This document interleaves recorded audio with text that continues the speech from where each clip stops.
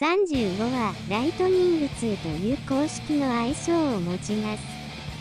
F35 はステルス性能の高い戦闘機です。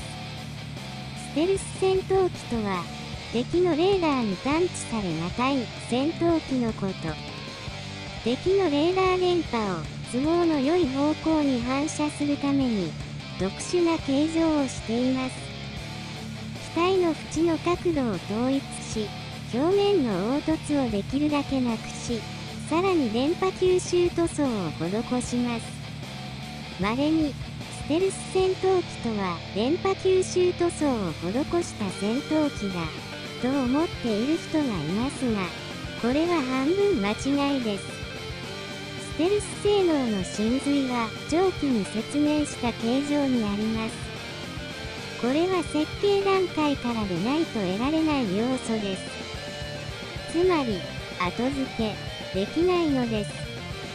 電波吸収塗装は、それを補完する二次的要素に過ぎません。個別の分野において F35 を上回る機種も存在します。しかし、これら多くの分野で平均的に高性能を実現しているのは F35 だけなのです。F35 はテルス性能とレーダー性能とを活かして、長距離から一方的に先制攻撃を仕掛けます。相手に気づかれる前に不意打ちをします。だからこそ強いのです。さらに、格闘戦になっても各種センサーとコックピットに優れるため、各種に遅れを取りません。